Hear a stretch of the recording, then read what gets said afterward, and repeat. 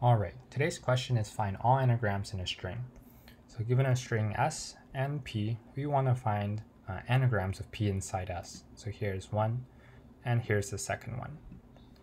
So to solve this question, first we have to answer the simpler question of how do we tell if two words are an anagram or not. So two words are an anagram if they contain the same number of characters. So what we can do here is we can just get uh, the character count for each for, for, for the first word and the character count of the second word and then compare them against each other. So for example, ABBC here will have a count of uh, 1A, 2 Bs, and 1C. And then, you know, for the stuff that I don't mention, and, you know, implicitly it means that there's, there's zero of it. Okay, and now we have BABC, and likewise, there is 1A, 2 Bs, and 1C. And then because these two representations of the word are equal, then that means they're anagrams of each other. So our first step will just be simply to get this representation for P. Now what you could use here is you could use a hash map of character and then let it go from character to the count. Or we can actually just use a normal array. So an array like 1, 2, 1, uh, 0, 0, 0. Uh, so this will have a size of 26.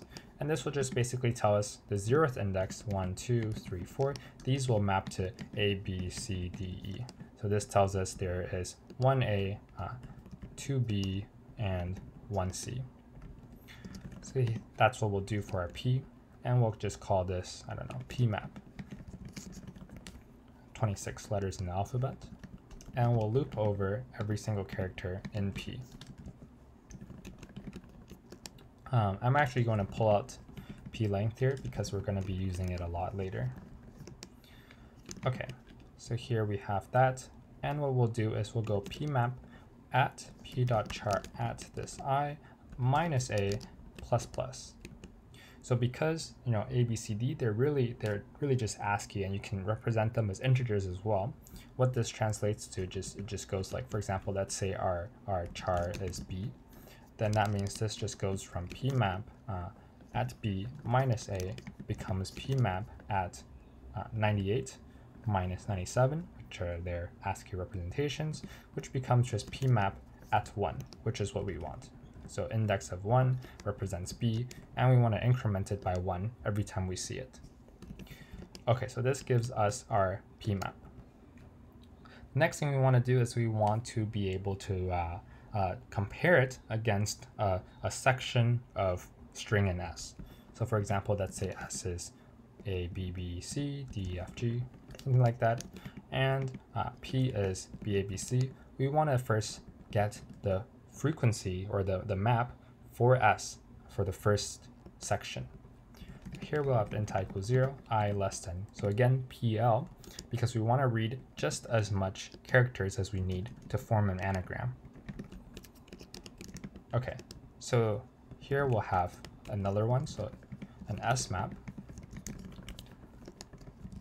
And here S map S dot char at I minus A plus plus. Okay, so now we're making a, an assumption that uh, S is at least as long as P. Right, so now we have to say what what if it's not? What if what if S is just AB, but P is something like uh, ABCD? Well then there's no way we can find a single anagram in here, so we can actually exit early. So what we'll do is uh, int sl equals s dot length, and then if sl is smaller than pl, we can already return the empty list. Okay, so now that we have that edge case over with, we can call this with no problem. We can go all the way up to pl. Okay, so how do we check to see if two words or two maps are, are anagrams? So we'll have is anagram. We'll set it to true in the beginning. And then we'll loop over uh, all the characters in the alphabet. So it'll just be pmap.length, you know, 26. And then what we'll do is if pmap at i does not equal smap at i, then uh, is anagram is equal to false, and we can break out from here. So what this tells us is that there is there is something in PMAP, so there is a character count that we didn't detect in SMAP, or that SMAP has an extra character that wasn't in PMAP. But for them to be anagrams, they have to have the exact same character count or character count for every single character in the alphabet. Okay, so at this point, if this anagram is true, then we have found an answer. So let's store answer somehow. We'll have a list, and we'll just store it in a regular array list. Uh, answer.add 0. So remember here we're adding the first index of, or the first index of the anagram. So since we're comparing at the beginning, this will be 0. So this is the 0. Okay, so now is the slightly harder part. Now we have to start shifting our S to detect new anagrams, right? Because our S is going to be something like A, B, B, C, you know, maybe something like BBA, CD, but our P is going to just be BABC. And so far, we have read the first four and detected that they are indeed anagrams. But we still have to detect if there's any other anagrams inside this string. So the way that we're going to do that is we're going to just read one and then also delete one. So we kind of shift our, our uh, SMAP by one, and then we can just check against P every single time. Okay, so let's try that. So again, we'll have int i is equal to, so we, we've already read the first four, so we can read the next one. So this will be the same thing as PL. So after, so if uh, PL has a length of four, then we can start reading at the fourth index for our next character. Uh, i less than SL, so the rest of the string, i plus plus. And then what we want to do is we want to increment the count here, but also decrement the count for the character that's no longer in our window. So here we will have smap at uh, s dot char at i minus a plus plus, but also smap at s dot char at, and now we have to subtract this one right here. So here is the one that we want to subtract, and here is where our i is at right now. And then what we want to do is basically we want to do i minus pl. So uh, index 4 minus the length of p, which is also 4, will give us uh, index 0. And this is the count that we want to decrement because we are no longer reading it. Okay, and then same as before, we can have is anagram equal to false or equal to true to start off with. So, and then we want to see if they don't agree on anything again. So here we'll have this check again, and then if is anagram, we want to add uh, the first index. So the first index is going to be whatever this, whatever we just deleted, plus one is our first index. So it's going to be i minus pl plus 1 here. And at the very end, we can return answer. Okay, let's give this a go. Um, oh, right. So here we already used i, so we'll use j here instead. j, uh, j, and j. Cool. Um, array out of bounds. Ooh. Let's see. Oh, right. So here we also have to minus a for the offset. Okay, looks like this is good. And let's go over the runtime.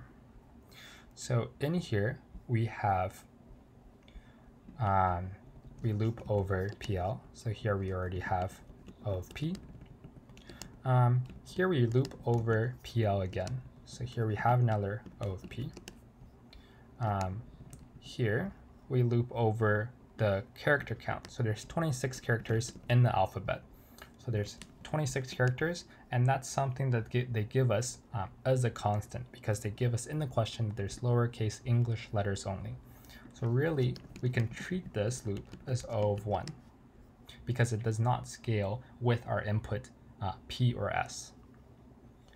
Okay, and then in here we loop over the rest of S. So we can call this O of S.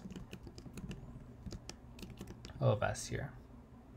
And then again, this is really just O of 1 because we know exactly that there's 26 characters and that's a constant.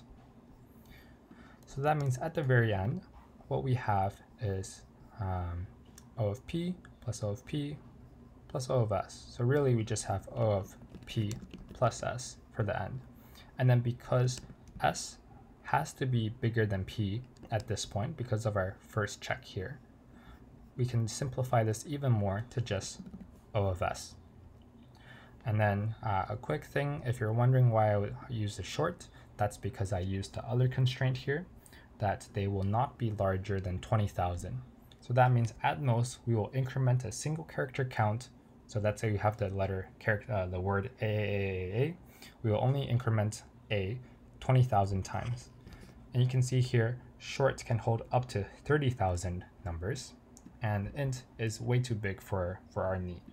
So this is 16-bit versus 32-bit, so why not save the memory while we can?